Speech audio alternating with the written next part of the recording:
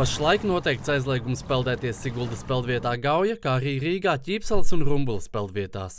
Jūrmalā peldēties nav atļauts asaru un mellužu pludmalēs. Peldētājiem ķīpselā šodien ūdens piesārņojums nebija šķērslis.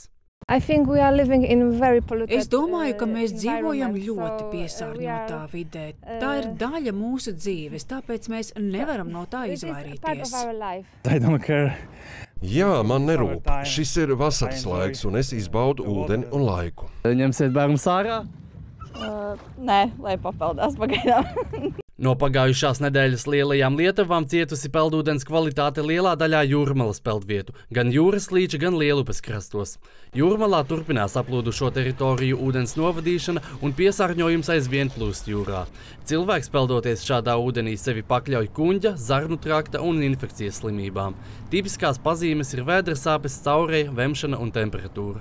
Labā ziņa tāda, ka šis pies, fekālais piesārņojums, viss tas mikrobioloģiskais sastāvs, kas tur ir, no, nokļūstot dabas ūdeņos, viņš netur, tās mikrobi neturpina vairoties. Viņi vienkārši tur kādu laiku uzturās un pamazām atmirst. Oficiālo peldvietu ūdens kvalitātei var sekot līdzi Veselības inspekcijas mājaslapā. Artūrs Aļševskis, Māris Jurgensons, Latvijas televīzija.